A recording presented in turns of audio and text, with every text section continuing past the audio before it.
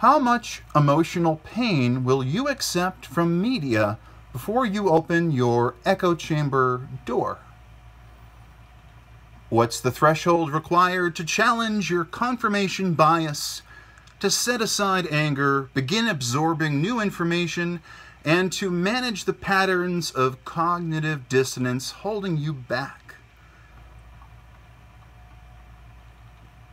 These are good questions for everybody all 7 billion of us. Don't be afraid to ask these questions.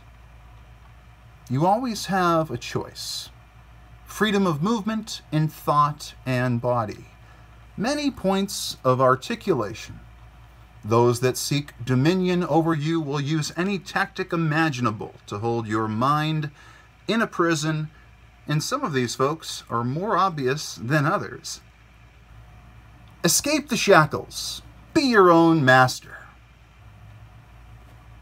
You got this. How much emotional pain will you accept from media before you open your echo chamber door? So the media is creating this sense of mass depression among many of its viewers, sort of stoking fear and panic. Some would say moral panic a modern religion, in people, showing them that things aren't going so great. We have to make a change. We have to create a situation where there's hope again. But they do this depending on really who's in office, who's in power, who is winning the culture war, who's losing the culture war. The media will do this for all kinds of reasons. A lot of them are about money. You know, follow the money. Follow the money with the media. You know, what, what serves them best? The corporate cash has to keep rolling in, right? But to, in order to maintain that cash flow, they need to have steady viewership. And they need to make you feel like you're a part of something. So they may resort to the nearest moral panic and get you all riled up, tuning in and making sure you're not missing one second of the depravity and all the evil going around that we have to stand up and fight. But a lot of people just go into a sort of depression. They're like, well, it looks like the president, for example, is uh, an orangutan that is destined to destroy the world with his evil intentions. And he's also incompetent. He's both the most evil person in the world and he's incompetent. That's just double bang, man. That's double bang for your buck. And I'm not buying. I'm not buying, but I have to be inundated with the media trying to frame the situation very poorly. So that gets you to the polls to vote for their preferred politicians. It's pretty simple. And that's one possible goal. But of course, it does revolve around keeping the money flow going. So if you're in a an echo chamber, you're staying in there, you're not listening to the side, the other side, you're not listening to anything positive, you have nothing positive to say, you're putting negative messaging out there, orange man bad, orange man bad, orange man bad. And that really gets you, maybe that feeds your energy. You know, I'm not trying to judge here. If you want to go out there and shit post and do what you want to do on Twitter and elsewhere, go ahead and do that. Um, just keep on pounding that negativity, see what keep comes out of that. Kind of like getting water from a stone, but hey, you know, sometimes people they can really benefit from negative energy. Getting you know, negative energy can bring them positivity. Um, it is a very interesting situation, but if they never, if they are in emotional pain and they don't open, open their echo chamber door to see the other side, to see where things, where people are actually happy, and the stimuli they're getting, it's not showing them something happy, you know, how much are we willing to take? How much are we willing to take?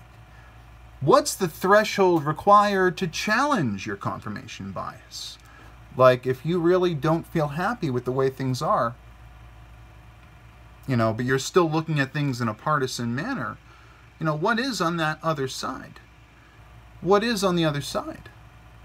You know, like, is there something positive that you're missing out on because you've chosen to disassociate from certain things for whatever reason it might be. You might have used an ad hominem attack. She is sexist. He is racist. And just kind of pushed away any information from the other side that challenges your perspective, you know. You're very angry. You know, sometimes when you're angry, you don't want to see more of what makes you angry. You want to see things that make you happy. Some people fighting back against the evils that you may see. Now, this is me sort of projecting, but we're talking about in a rhetorical sense.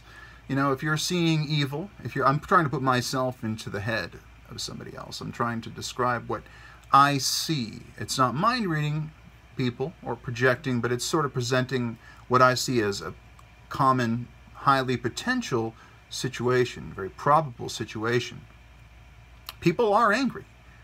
Whoever's not in power in a country, whoever, if it's the Democrats in the United States or the Republicans, depending on the paradigm, depending on the year, the decade, you know, people get angry and they get, the more angry they get, the more irrational they get. And because we are irrational beings as it is, well, it can be just this feedback loop of fear and loathing and hatred and frankly insanity. No good. So we have to challenge our confirmation bias and to set aside anger, begin absorbing new information, and to manage our patterns of cognitive dissonance. Now, I do have a new video out, Cognitive Dissonance Workout Routine, so check that out on BitChute and YouTube. It's a great video for getting those cognitive dissonance muscles worked out. You know, it's all about repetition. Practice, practice, practice. Get used to working out those centers of the brain that handle, you know, contradictions and holding two opposite, opposing views in your head at the same time. And that can actually help you accept um, the ever changing reality we see. Make your predictive abilities get a little bit sharper.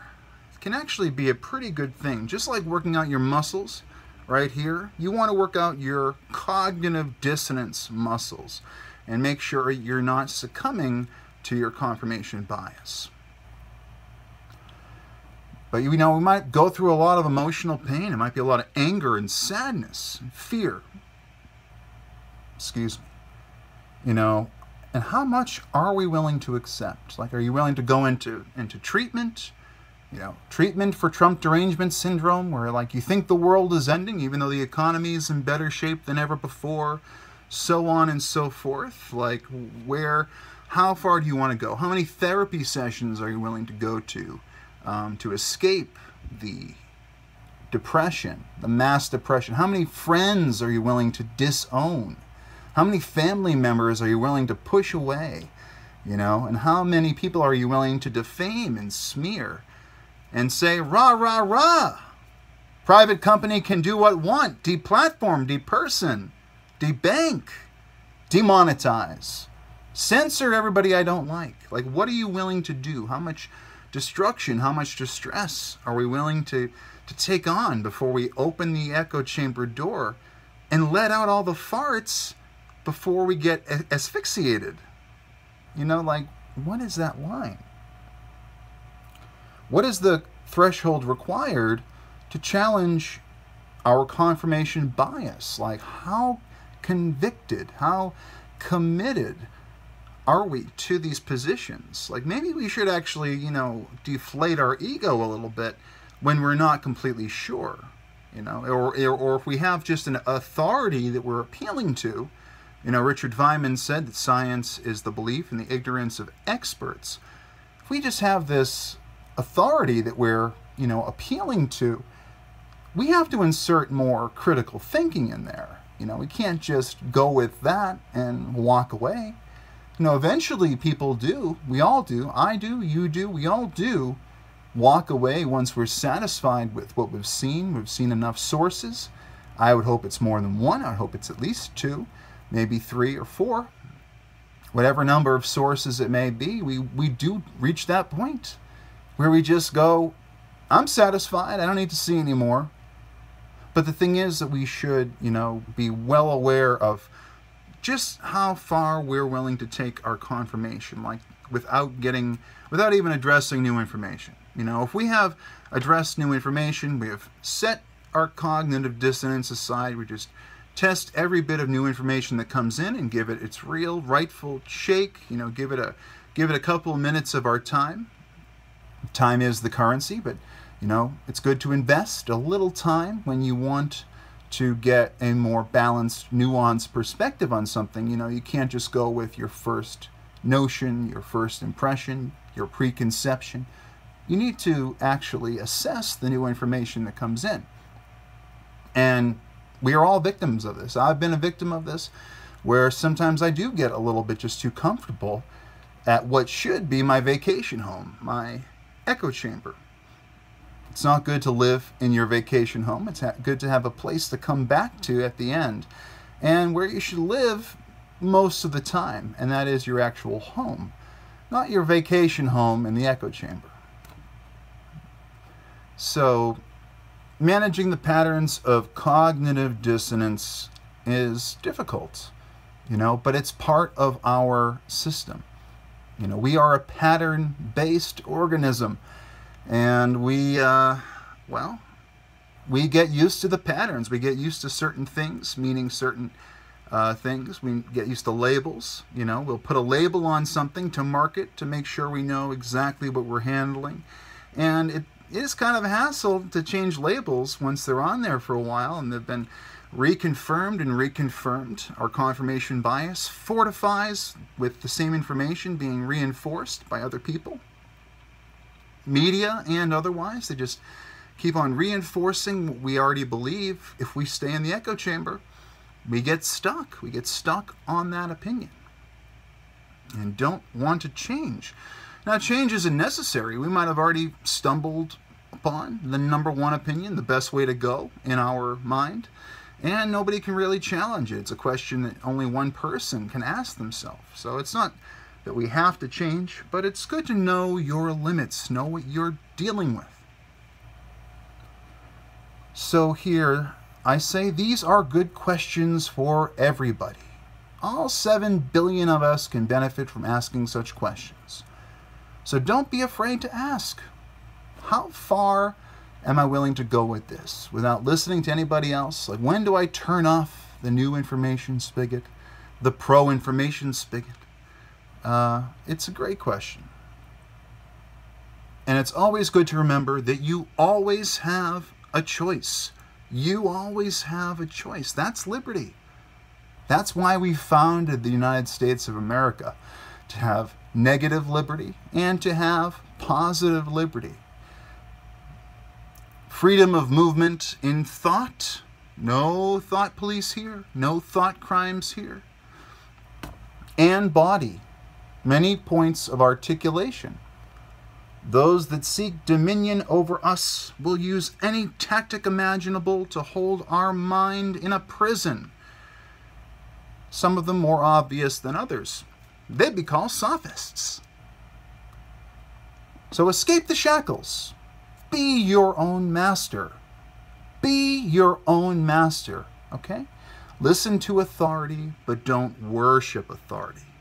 That's why I preach about the modern religions. I say, we have some systems here that even the devoutly secular can follow, find a form of real world moral dogma divinity in victimhood, if you're talking about the modern religion of social justice, and of course, this authority to worship for even the devoutly secular.